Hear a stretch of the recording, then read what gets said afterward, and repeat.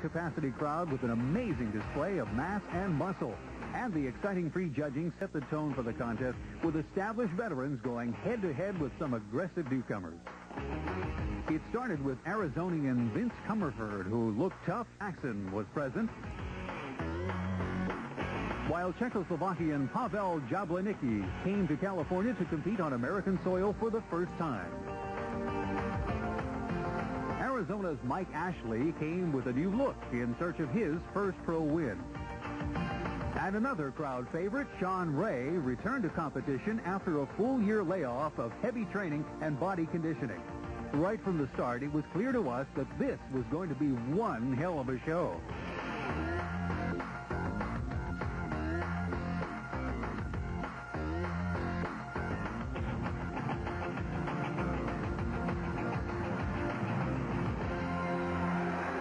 Mixed pairs champion Tony Pearson. It's hard to believe that this 32-year-old has been competing for 14 years. But a look at his coast-to-coast lat spread and his incredible abs, you'll become a believer in this seasoned veteran.